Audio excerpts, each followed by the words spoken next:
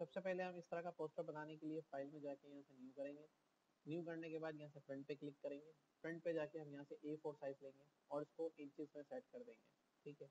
और रेजोल्यूशन पे 300 की जगह पे 100 ले लेते हैं फ़िलहाल। बाद में इसको बढ़ा के 300 कर देंगे। क्रिएट कर देंगे। जैसे क्रिएट करेंगे तो ये फ़ाइल हमारे सामने आ जाएगी। लेयर का जो ऑप्शन है वो यहाँ अवेलेबल है। इसको यहाँ से अनलॉक कर देंगे और इसको क्लिक करके हम इसको बनाने की कोशिश करते हैं। तो अब हम इसका ये ऊपर वाला पोर्शन कैसे बनाएँगे? देखिए, इसमें दो फ़ोटोज़ है, एक फ़ोटो तो ये है और दूसरा फ़ोटो ये है। तो अब इसमें करना ये है आपको कि सबसे पहले आपने इधर आ जाना है और यहाँ पर आके कंट्रोल ओ करना है ओपन एक वो फ़ोटो जो बैकग्राउंड पे लगाना है, पहले उसको चूज़ कर देते हैं। तो यहाँ से मैं डॉक्यूमेंट्स में आया और यहाँ से क्लिक करके मैं लेटेस्ट में आया और लेटेस्ट में आने के बाद मैंने यहाँ से वो फ़ोटो को चूज़ किया। आप सपोज़ कभी वो फ़ोटो कौन सा हो सकता है? तो ऐसा करते हैं, हम ये एक फ़ोटो ले लेते हैं। कुछ बंदे बैठे हुए ये वाला ले हैं फ़ोटो ठीक है? तो इस पर डबल क्लिक किया, ये वो फ़ोटो जो हमें रिक्वायर्ड है। Control A control C copy select all copy paste control V paste control T alt shift के साथ. इसको छोटा बड़ा करके जिसको दिखाना है, दिखाया, जिसको नहीं दिखाना दिखा दिया. क्लिक करके अप्लाई कर दिया। अब सेम इसी साइज़ का कंट्रोल एस करके अपनी फ़ाइल को सेव किया. सेव कंप्यूटर किया और यहाँ से हम चले गए डॉक्यूमेंट्स के ऊपर. जैसे गए डॉक्यूमेंट्स के ऊपर क्लिक किया यहाँ से. लेटेस्ट पी एस फाइल्स के अंदर चले जाते हैं। और पी फाइल्स में नोवाइस के अंदर हम जाके इसको सेव करेंगे। क्लास फाइव तो हो गई सिक्स के नाम से। पोस्टर ठीक है? तो क्लिक करेंगे इसको यहाँ पे ओके करेंगे। तो ये हमारे सामने इस तरह से बन जाएगा। अब इस पर क्लिक करने के बाद हमने क्या करना है? इसके ऊपर एक शेप बनाना है। ये शेप लिया हमने और इसको इसी तरह से इसके ऊपर ड्रॉ करना है। क्लिक किया शेप बन गया। शेप इसके ऊपर वाली लेयर पे बनाई यहाँ पे क्लिक किया और यहाँ पे ग्रीन कलर का शेड लगा दिया हमने शेप पे। क्लिक किया कंट्रोल टी किया ट्रांसफॉर्म को एक्टिवेट किया शेप के ऊपर। टी टी से शेप का ट्रांसफॉर्म एक्टिवेट होगा ये एक्टिवेट हो गया इसके ऊपर कंट्रोल टी जैसे लगाया हमने। हैंग हो गया थोड़ा सा इसके ऊपर ये। नहीं लैपटॉप हैंग हो रहा है इसमें। अल्टर शिफ्ट के साथ इसको थोड़ा सा बड़ा किया। अगर शिफ्ट नहीं दबा रहे तो आप इसको पूरा पूरा इस तरह से ले सकते हैं। क्लिक करके इसको यहाँ पर रख दें, इसको यहाँ पर रख दें और ये इस तरह से क्लिक करके अप्लाई कर दें। अब उसका जो फिल रेट है यहाँ पे जो आ रहा है, इसको फिफ्टी परसेंट कर दें तो इस तरह से लाइट ग्रीन कलर का आपको इफ़ेक्ट इस तरह का देखने को मिल जाएगा। अब ज़्यादा अगर डार्क इफ़ेक्ट चाहिए देखने के लिए तो यहाँ पे शेप पे डबल क्लिक करके यहाँ पे डार्क ग्रीन शेप दे दें तो इस तरह का डार्क ग्रीन शेप भी आपको देखने को मिल जाएगा। उसके ऊपर एक फ़ोटो लगाना है, जो कोई लड़की या लड़के का जो उस पर इस तरह से बैठ के काम कर रहा हो कंट्रोल ओ करके ओपन करते हैं। और इस तरह के फ़ोटोज़ हमें रिक्वायर्ड होंगे, उन्हें चले जाते हैं यहाँ पे और यहाँ से लेटेस्ट पे क्लिक कर देते हैं। तो मैंने कुछ फ़ोटोज़ ऐसे बना के तो रखे हुए इसके अंदर, लेकिन फिर भी अगर हमें चाहिए तो यहाँ पे क्लिक कर देते हैं। जैसे मैंने कुछ इमेजेस ऐसे रखे हुए हैं, ये लड़की खड़ी हुई है, लड़की खड़ी हुई है, ये यहाँ पे खड़ा हुआ है, यहाँ पे इस तरह से कह रहा है, ये तो मैं इस पर इस पर ये वाला फ़ोटो ले लेता हूँ। अगर पढ़ने लिखने वाला चाहिए, जिसमें कुछ पढ़ लिख रही है, बैठा हुआ तो वो ये वाला ले लेते हैं फ़ोटो और अगर कोई और पढ़ने लिखने के अलावा चाहिए ये देखें ये क्या कर रही है। इसके फ़ोटो में देखें ये इस तरह से लगी खड़ी है, लेकिन ये तालीम से रिलेटेड तो नहीं हुआ, लेकिन चलो लगा देते हैं, तालीम नहीं है तो क्या हो गया। डबल क्लिक किया, अब इस फ़ोटो को सिलेक्ट करना है कंट्रोल के साथ इस पर क्लिक किया तो ये देखिए फ़ोटो सिलेक्ट हो गया। कंट्रोल सी कॉपी वरना आपको सिलेक्ट करके लाना पड़ेगा फ़ोटो ठीक है? इस फ़ाइल को मैं बंद कर देता हूँ, इसको भी बंद कर देता हूँ, यहाँ कंट्रोल वी करके प्रेस किया कंट्रोल टी करके ऑल्टर शिफ्ट के साथ लड़की को बड़ा किया, और इसको ले जाके हमने इस तरीके से खड़ा कर दिया। वो पिक्सल कम होते हैं ना, इसलिए धुंधली हो जाती है। पिक्सलेटेड हाई पिक्सल फ़ोटो लेंगे तो फिर धुंधली नहीं होगी। इस पिक्चर में इस लड़की का जो एंगल चेंज करना है तो एडिट में जाके ट्रांसफॉर्म पे क्लिक किया, फिर हॉरिजॉन्टल किया तो ये देखिए इस तरह से इसका एंगल चेंज हो गया और ये फिर हमें इस तरह से नज़र आने लग गया। इसको कंट्रोल टी करके थोड़ा सा इस तरह से दिखाना है आपको तो ऐसे भी दिखा सकते हैं कि फिर ये कुछ इस तरह से दिखाई देगी, लेकिन मुझे लग रहा है ऐसे सही लग रहा है। ये ज़्यादा बेहतर है, ठीक है? कंट्रोल एस करके सेव कर दिया। तो ये देखें इस तरीके से थोड़ा सा फ़ोटो को स्क्यूज कम कर लेते हैं तो ये थोड़ा इस तरह से नज़र आए, ताकि थोड़ा चौड़ा ज़्यादा हो रहा था तो ये इस तरह से नज़र आ रहा है अब आते हैं कि भाई ये वाला हिस्सा कैसे बनेगा, इसका शेप्स वाला। यहाँ पे डिफरेंट शेप्स आपने इसी तरह से लगाने एक शेप दूसरा शेप तीसरा शेप देखिए भाई, ये वाला शेप सेंटर में आएगा, ये वाला इस साइड से आएगा, ये वाला उस साइड से आएगा, ये उसके हाफ़ पे आएगा और ये इसके बीच में आएगा।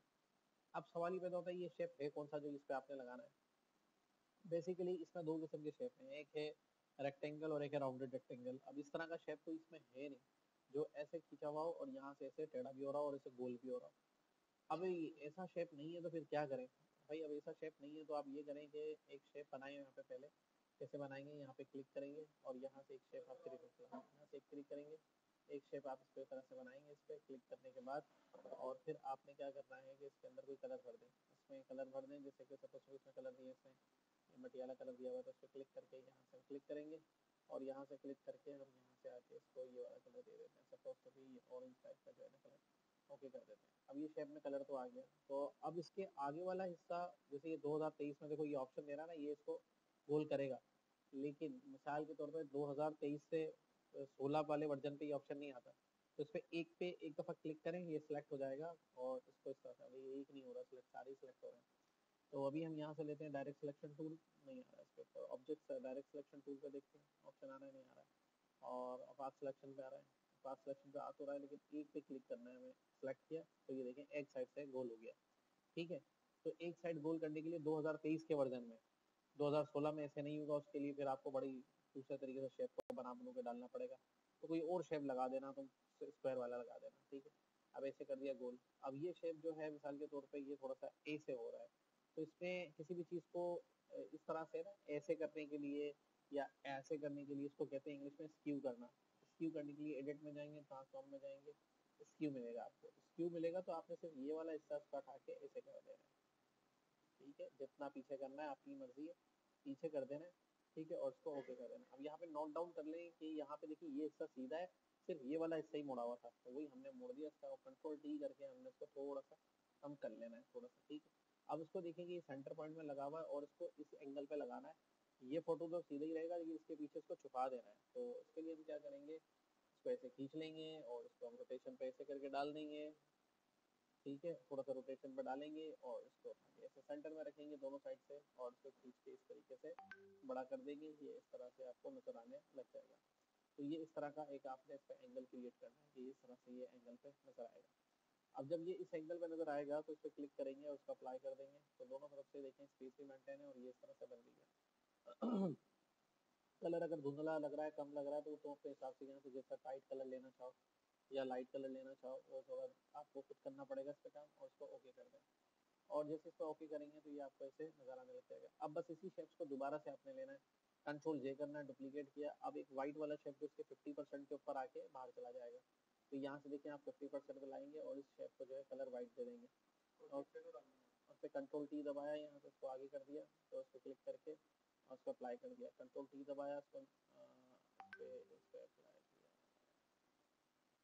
थोड़ा सा इसको, इससे खिलता हुआ नज़र आएगा, थोड़ा बड़ा होगा इससे।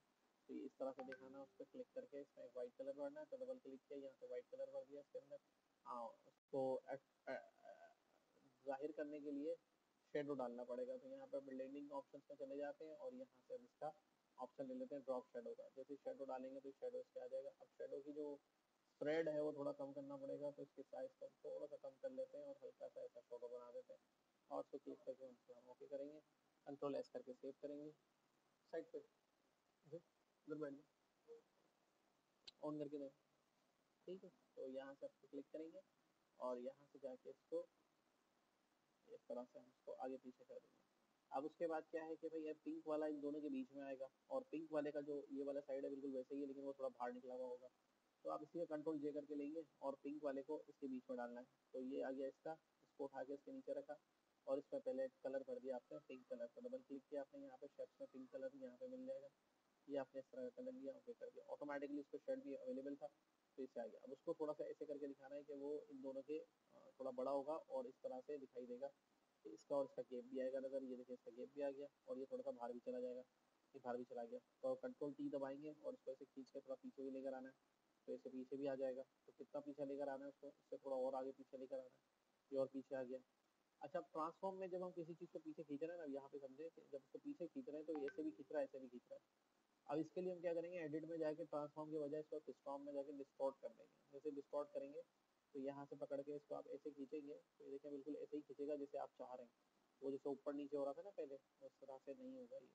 बिल्कुल सीधा अपने स्ट्रेट में आ जाएगा। जितना आप खींचना चाह रहे हैं, उसको और पीछे ले लें। ठीक है, और उसको क्लिक करके ओके करेंगे तो ये देखें इस तरह से आ जाएगा।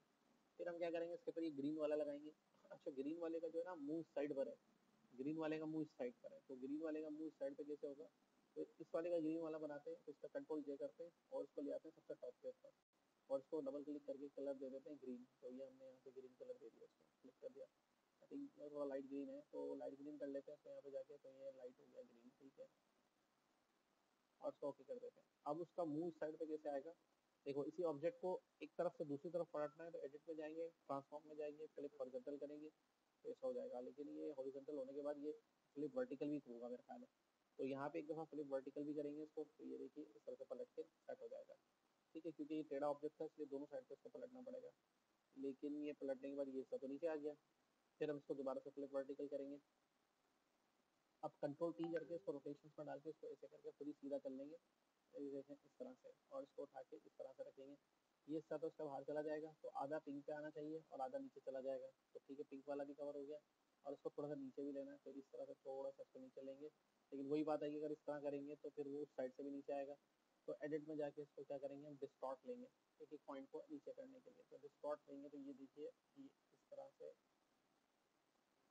ठीक है अब कंट्रोल टी करेंगे और यहाँ से इसको थोड़ा सा रोटेट करके ऐसे सीधा एंगल पे लाके ऐसे सेट करेंगे, ताकि ये इसके साथ इस तरह से नज़र आए और ये इस तरह ला के हम इसको यहाँ पे इस तरह से सेट कर देंगे, ठीक है? और इसको क्लिक करके अप्लाई कर देंगे। तो ये देखिए हमारा ये इस तरह का शेप इस तरह से कवर अप हो जाएगा। तो देखिए कवर हो रहा है, फिर उसके बाद ये वाला शेप बनाना है। अच्छा ये वाला शेप ईजी है बनाना ये मुश्किल नहीं है। और इसके लिए जगह भी है और ये थोड़ा ज़्यादा आगे आ गया क्योंकि इसके फिफ्टी परसेंट पे आना था तो इसको कोई मसला नहीं, पीछे जितना ले जाएँ तो मसला नहीं हमारे लिए। पीछे तो जितना हम ले जाएँगे, चले जा सकते हैं हमारे पास स्पेस है, सारी चीज़ों को कंट्रोल करने का, ठीक है तो ये यहाँ से थोड़ा पीछे ले जाएँगे। अच्छा अब आती है बात कि भाई ये कैसे कंट्रोल होगा? अब इसको कंट्रोल करने के लिए ये जो नया शेप बनाना है शेप पर तो यहाँ से शेप पे क्लिक करेंगे और ये शेप इस तरह से बनाएँगे।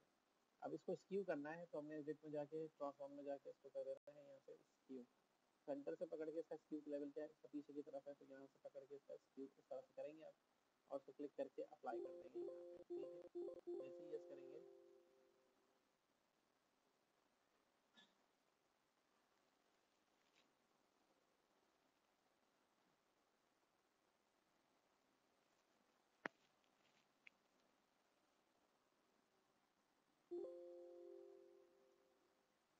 यस करेंगे, बन जाएगा। कंट्रोल एस करके सेव करेंगे। और उसके बाद इसमें स्काई कलर भर देते हैं। डबल क्लिक करेंगे यहाँ पे और स्काई कलर हमें यहाँ से मिल गया। रोजी कलर ये वाला सही रहेगा। क्लिक करके ओके कर दिया। कंट्रोल टी दबाया ट्रांसफॉर्म को एक्टिवेट किया इसको थोड़ा सा टेढ़ा किया और ला के इसके पे इसको सेट करना है। लेकिन इसके अंदर सेट करना है तो ये अल्टर शिफ्ट के साथ इसको थोड़ा सा छोटा करेंगे ताकि इसके ऊपर इस तरह से सेट हो जाए। और इसको क्लिक करके अप्लाई कर देंगे। थोड़े से इसमें शेड्स वगैरह अप्लाई करने हैं, आपको दिखाने क्लिक करके ब्लेंडिंग ऑप्शन पे जाएँगे ब्लेंडिंग ऑप्शन पे क्लिक करेंगे और ड्रॉप शेडो को इस पर भी एक्टिव अब ड्रॉप शेडो वही देना जो पहले दिया हुआ था तो ऑलरेडी हमने दिया हुआ है सब पे। तो इस पे से किसी पे भी राइट बटन दबा के कॉपी लेयर स्टाइल करेंगे और वो वाला स्टाइल इसके ऊपर पेस्ट कर देंगे तो वो ड्रॉप शेडो का इफ़ेक्ट इस पे भी ऑटोमेटिकली आ जाएगा। तो ये खुद ही हाईलाइट हो जाएगा उस जगह पे, ठीक है? उसको थोड़ा बड़ा करना है तो छोटा करना है तो ये तो हमारे इख्तियार में इस तरह से इसको थोड़ा पीछे ले जाए। और इसको थोड़ा बड़ा करना है तो कंट्रोल टी करके इसको थोड़ा सा इस तरह से पहले थोड़ा बड़ा कर लें। तो थोड़ा सा रोटेशन को इसको थोड़ा सेट कर लें और इसको इस तरीके से दिखा दें। ये देखिए हमारा ये वाला जो स्टाइल था वो क्रिएट हो गया पूरा। सही है? तो ये हमने हेडर भी बना लिया और ये वाला स्टाइल भी बना लिया। इस तरीके से ये चीज़ क्रिएट हो सकती है।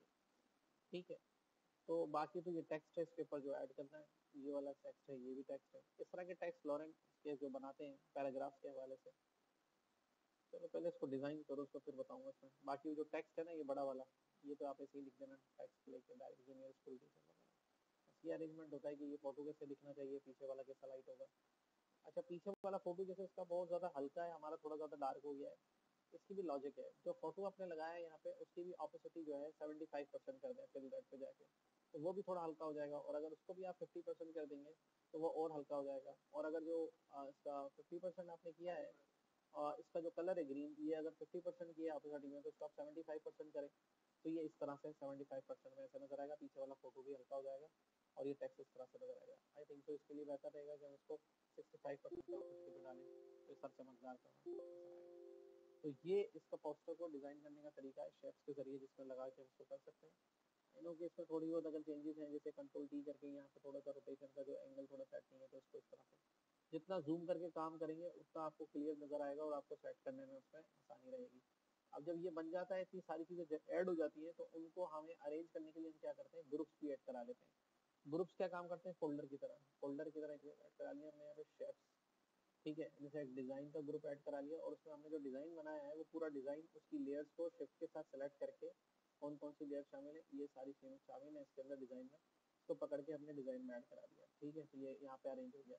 इस तरह से एक और ग्रुप बना लिया हमने हेडर के नाम से। H E A D R header और उसमें हेडर के लिए हमने ये चीज़ें बनाई हैं तो उसको उठा के इसके अंदर डाल दिया और उसको इसमें ऐड करा दिया। तो ठीक है, अब हुआ ये कि वो ऊपर हो गया, ये नीचे हो गया तो ये प्रॉब्लम आता है तो इसको नीचे कर देंगे हेडर को तो दोबारा से हेडर अपनी जगह पे आ जाएगा, लेकिन हमारा जो ऑब्जेक्ट है, वो अपने हिसाब से अरेंज हो गया। मतलब सारा डिज़ाइन इसके अंदर है, एक साथ ऑफ़ कर सकते हैं ऑन कर सकते हैं हेडर को ऑफ़ कर सकते हैं ऑन कर सकते हैं, और अंदर की लेयर्स को कॉलेप्स और एक्सपेंड करके देख सकते हैं। तो इस तरह आपका डेटा भी अरेंज हो जाता है।